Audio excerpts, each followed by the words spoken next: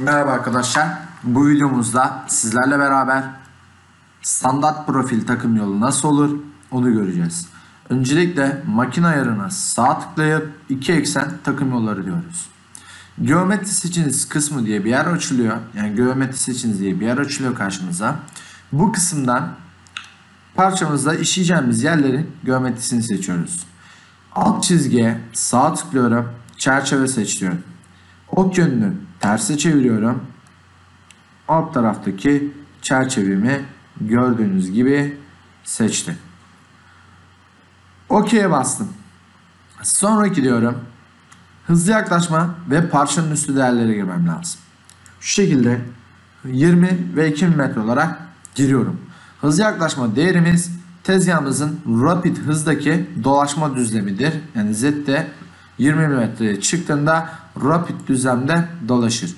Parçanın üstü dediğimiz kısımda tezgahımızın kesme hızına geri döndüğü Z mesafesidir. Yani 2 metre gelince tezgahımız normal kesim mesafesine geçer.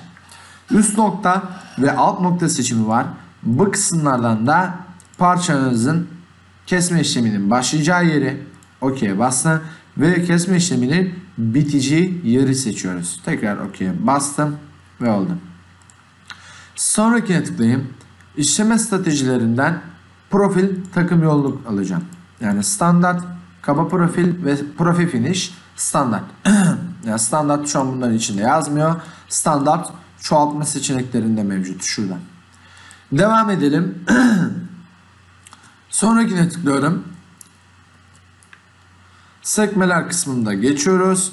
Post ayarları. Post ayarlarından çalışma offsetini belirleyebiliriz. G54, G55, G56, G57 şeklinde ve doğrusal hareket mi yoksa yay hareketi şeklinde mi postu yazıp yazmayacağını ayarlayabiliriz. Sonraki diyorum. Şimdi kaba profil. İlk sayfamızda takımımızla alakalı bilgileri giriyoruz. Yani 20 R5'lik bir takımla ben burada işleme yapmak istiyorum. 20 R5'lik bir takım. Devir ve ilerlemeyi şu kısımdan devir, kesme ilerleme ve dalma ilerleme şeklinde girebilirim. Magazinle ilgili ayarları şuradan takım numarasına tıklayarak yapabilirim. Otomatik takım numaralandırma sistemi kullan dersem yaptığım operasyonun sırasına göre otomatik olarak magazin numarası verir. Sonrakine tıklıyorum. Çoğaltma yöntemleri. Standart çoğaltmayı göreceğiz şu anda. Alt tarafta telafiler kısmı var. Sistem telafisi kapalı dersem çizgiyi yani mevcut olduğum seçtiğim geometriye takım yoluna dönüştürür. Sol dersem çizginin sol tarafına, sağ dersem çizginin sağ tarafına geometri atar. Yani bu genelde solda kullanılır. Çünkü saat yönü kesim bu şekilde oluyor. Makine telafisi de G41 ve G42 ile alakalı bir şey. Yani telafili ayarlarını buradan açabilirsiniz. Şimdilik yine kapalı olsun. Sonrakine tıklıyorum. Parametreler. Duvarda kalacak paso ve tabanda kalacak paso miktarını soruyor. Diyorum ki duvarda onda 4 bıraksın, tabanda 0 bıraksın. Alt tarafta derinlik metodu var. Tek adım dersem şurada verdiğim unsur değerin yani 25.4'e tek seferde inerek dışından bir tur atar. Çoklu adım dersem kesme derinliği vererek örnek veriyorum 0.5 duvarı birçok seferde kesmemizi sağlar. Yani takım yolunu çoğaltır. Derinlik adımı dediğimiz kısımda eşit derinlikler ve tanımlanmış derinlikler var. Peki bu ne işe yarıyor? Eşit derinlikler dersem bütün Z'deki takım yollarını eşit miktarda şuradaki onda 5 yazdığım zaman en yakın pasoya yani hepsi eşit olacak şekilde en yakın pasoya veriyor. Tanımlanmış dersem onda 5 yazdığım zaman onda 5 kalır. Yani derinliği değiştirmez. Şimdilik eşit kalsın istiyorum. Sonrakine tıklıyorum. Giriş ve çıkış ayarları. Dalma, rampa. Buradaki ayarlar bizim dikey eksendeki dalma ayarlarımız. Yani şu şekilde zigzag giderek dalış yapıyor. Gördüğünüz gibi.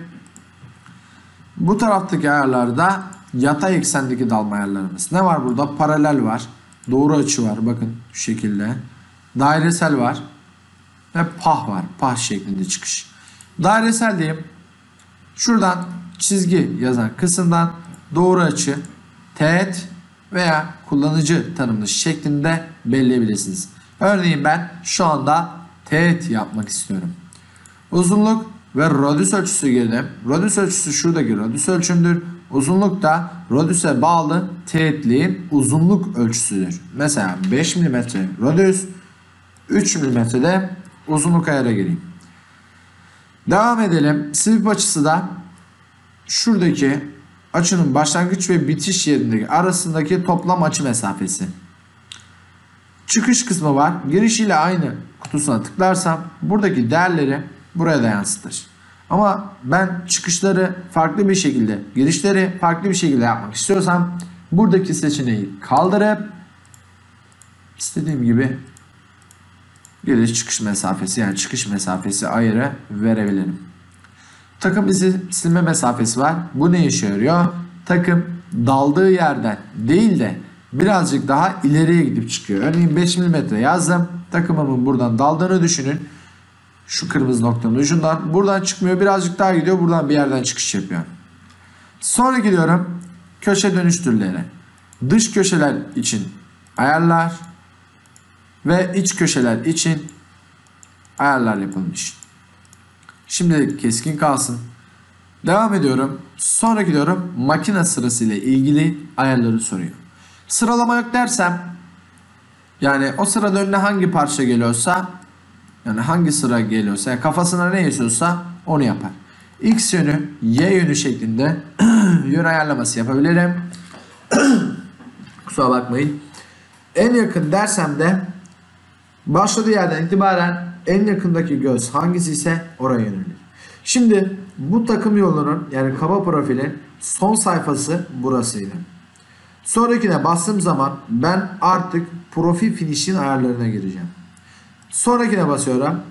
Finish kısmında çap ve ölçülü soruyor. Yine aynı şekil bakın kaba kısmında gördüğünüz gibi sayfalar aynı sayfa. Geldim. Dedim ki 12'lik düz bir takımla ben buraya kesme işlemi yapacağım. Devir ve ilerleme verebilirim. Takımımın magazindeki konumunu ayarlayabilirim. Soğutma sıvısı ile alakalı ayarları yapabilirim. Sonrakine basıyorum tekrardan. Bu sefer çoğaltma kısmındayız. Standart çoğaltma. Burada zaten tek çoğaltma yöntemimiz burada. Ama sayfanın görünüşü bakın ikisi birden çoğaltma kısmı aynı. Telafilerle ilgili ayarlar verebilirim. Sonra yine basıyorum. Parametreler. Yine aynı şekilde kaba profilde gördüğümüzde aynı şu şekilde yapalım. Bakın fark eden hiçbir şey yok. Ben burada da çokladım dedim. Kesme derinliğini bu sefer 1 milim diyorum. Sonrakine bastım.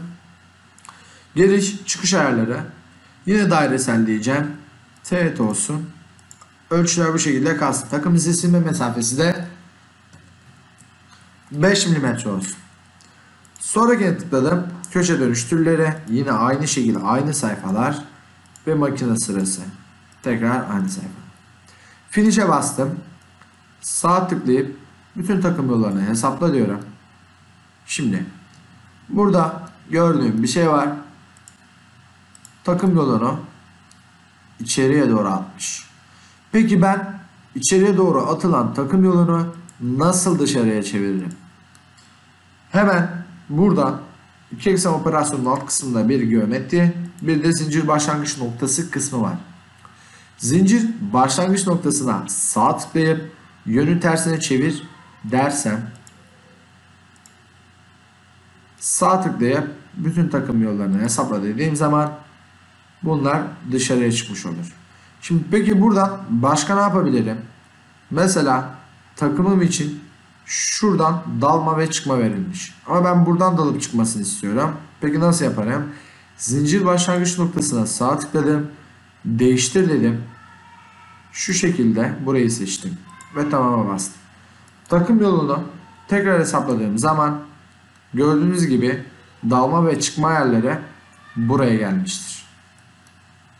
Standart profil dönme bu şekildedir. Hepinize iyi çalışmalar dilerim.